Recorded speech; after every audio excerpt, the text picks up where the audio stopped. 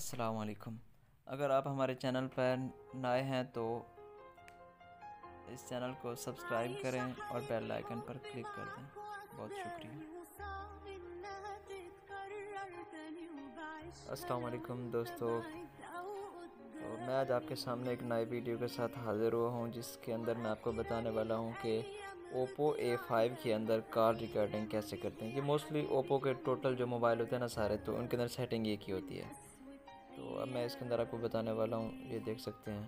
Calls पे आना है, उसके बाद थ्री डॉट्स सेटिंग इसके अंदर कार रिकॉर्डिंग दूसरा ऑप्शन आ रहा है कार रिकॉर्डिंग ये ओपन किया हमने। रिकॉर्ड ऑल कॉल्स ये पहले ऐसा होगा, ठीक है ना? अगर हमने रिकॉर्ड करना तो रिकॉर्ड ऑल कॉल्स या फिर अगर आप ये चाहते हैं कि सिर्फ़ जो कोई और नंबर आए मतलब जिसके, जिसे हम जानते ना हो या मेरे, हमारे मोबाइल में नंबर सेव ना हो तो हम रिकॉर्ड अननोन नंबर्स पे करेंगे।